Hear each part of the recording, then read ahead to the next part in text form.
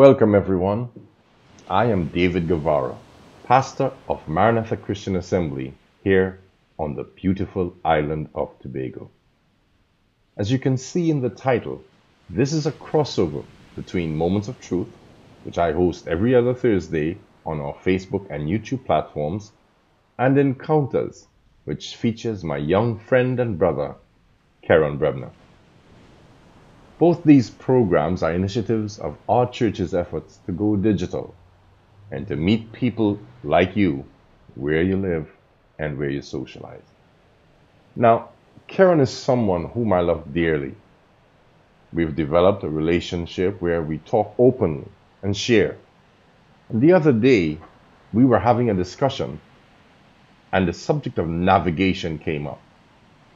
What came out of that conversation were gems simply too good not to share. Thanks very much, Pastor. And let me just say, welcome everyone. Now, if you're watching this video, then it means you've made it into the new year 2021.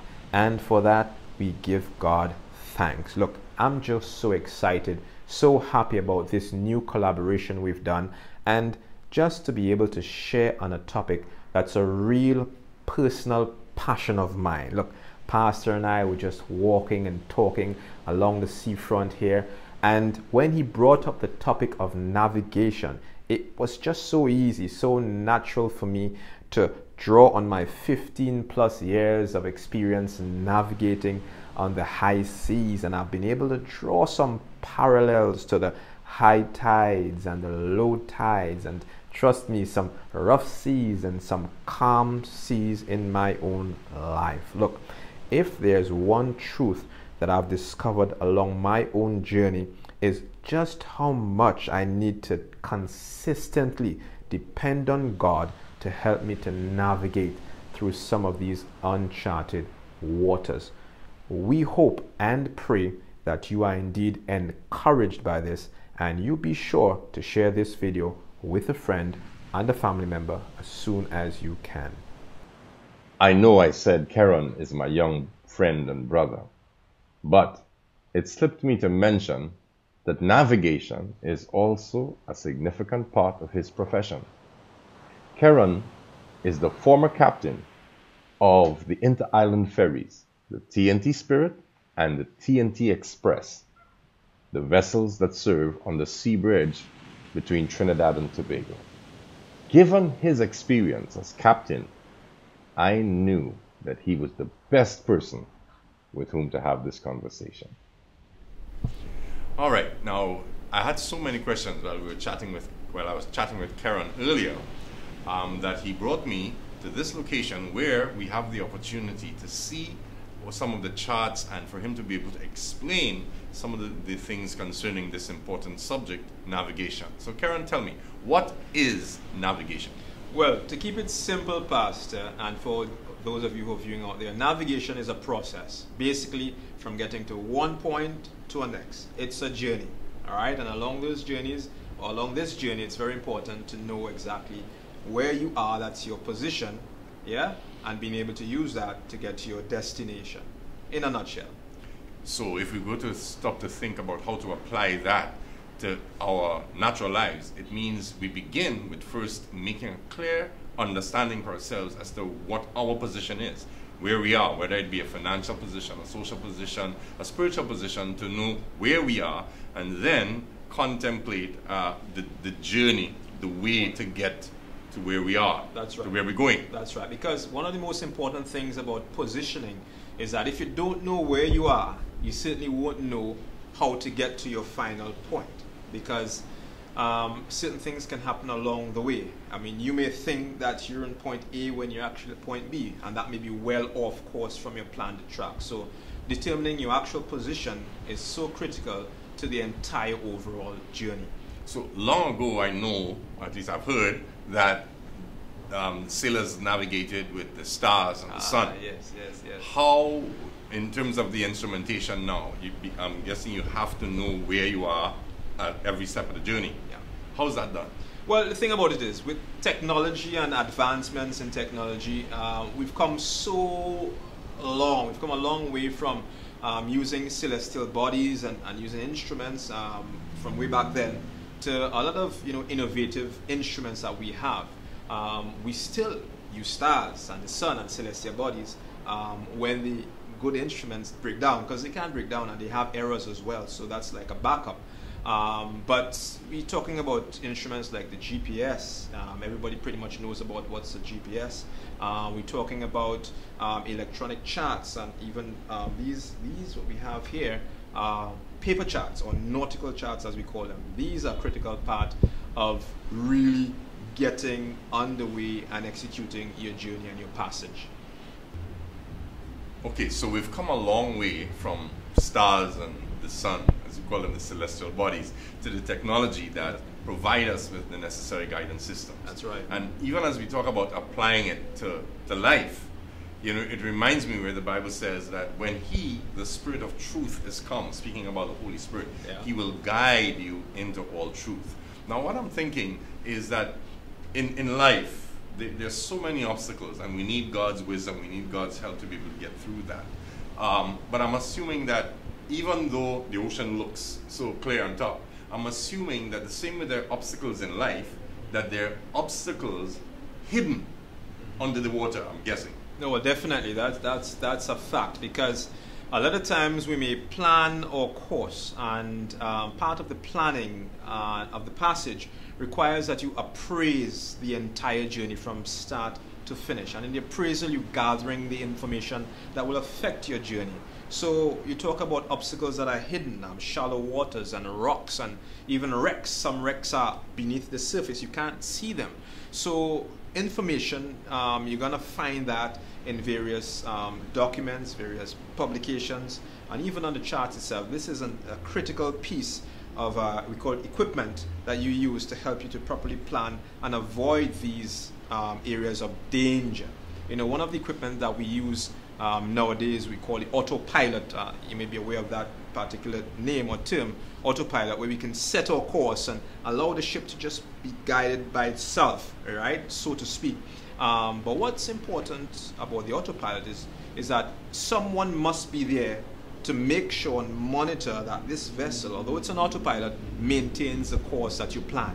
Or else you can go off course, there's currents and there's the wind and other other factors that you don't control that can move your ship off course. So it needs to be monitored as well. You don't want to end up in a position where um, you may plan safe passage but end up in dangerous waters. So um, the autopilot is a critical equipment, but it needs to be monitored as well. And as you say, you know, the parallel is so true. You know, having the Holy Spirit in our lives is certainly that we call that a monitor for me to ensure that we maintain the course that God has set for our lives. Indeed, a monitor and a guide. And even when you talk about sailing into dangerous waters, I mean, Ah. all of us, all of us know somebody, and maybe even our own experiences. We've come to places, and junctures in our lives where we wondered, "Oh my gosh, how did we get here?" And um, it's so important. It, it comes to mind that the Bible, the Bible, the, the, Jesus said that Thy word is a light unto my feet and a lamp unto my path. right, yes. And that's so important for us to know because then that provides the, us to know exactly that becomes the chart. That's right. That's the right. chart. So that we can use to help us Mm-hmm. to be able to go the course that God would Right. have us go. That's right. Because even as you were talking there, it struck me, you know, it's not just navigation moving from one place Uh-huh. to another, but you want to get to a specific destination. that's right. Mm-hmm. And that's where the planning comes in. And we so need the Holy Ghost to help us plan. I mean, when you think of 2020, the way it just turned everybody's plans Mm-hmm. on, on its head, you know, with the COVID 19 and the, the impact of the, the restrictions, etc. Yeah. And here we are in a new year, and we're pretty much facing, I, I- I don't want to sound, you know, dark, but pretty much facing the same thing. So we need God's wisdom and help, and certainly our viewers today need to be reminded of that. That you know, when when when the psalmist is the one that spoke of God, and he said, God said, "I will instruct you and show you which way you should go," and that's so important because that is effectively what navigation is. Well, I'll tell you this as well, Pastor, because you mentioned COVID 19 and all the stuff that we didn't plan for. But even in navigation, you know, we can lay the courses down on the chart. and uh, we can execute according to what we've planned. But guess what? Those plans can change. We would have to intentionally deviate from that planned course because of some great danger. For instance, we get a report that a hurricane is coming our way or, or, or, or going to be you know broadside us and we need to deviate from our planned course to avoid that danger. These things you don't really plan for you know in advance but it comes up they pop up and we have to respond respond in a safe manner. So sometimes in navigation not just getting from point a to point b you'd have to change course. You'd have to deviate from your planned course what you had intended to do in the first place. The question for us is how do we respond in a manner that gets us away from the danger and still get to our destination safely? And that's what navigation is about. It's really dynamic. It's it's, it's fluid. It's not just a, a, a point, straight line sort of thing, you know. And and you can see so much parallels in our lives. Uh, we may plan a lot of things for our lives for this year, 2021, and we can see the end point down the road. But hey, guess what? We got to be able to expect and respond to change of plans and know how to do so safely well balanced, and of course, being guided by the Lord. And with God's help, yeah, as you said, being guided by the Lord. That's right. That's, that's the help. Right. That's the help that's that right. we need. Yes. And that's going to help us get to our destination. You know, Kerron, I really want to say thank you for giving me the time to share this. And wh- when I think about it, it's so timely, so timely. Because as you rightly said, we are now going into 2021 right, yes. and we can look at charts here and in, in, in, the spiritual aspect we Yeah. can look in the word of In god Word, yes. and let the word be the chart and let the holy ghost help us to read those charts Yes. and plan accurately as we go forward That's right. That's right. Right, we just want to say thank you so much for joining us today, wherever you're viewing from uh, this episode. It's indeed an honor for us to be able to share with you and encourage you and build you and help you as you plan your own course, as you chart your own way uh, through 2021. Now, listen, no doubt there will be challenges. There will be times when you will have to deviate from your planned course. But guess what? We encourage you. Allow the Lord to guide you along the way. Dangers will pop up and things are going to happen that you didn't plan for. But let God be your guide. indeed i couldn't say that better myself and we look forward to you joining us for the rest of the year. By god's spirit lives as we continue. Encounters will be coming on every two weeks as will be moments of truth.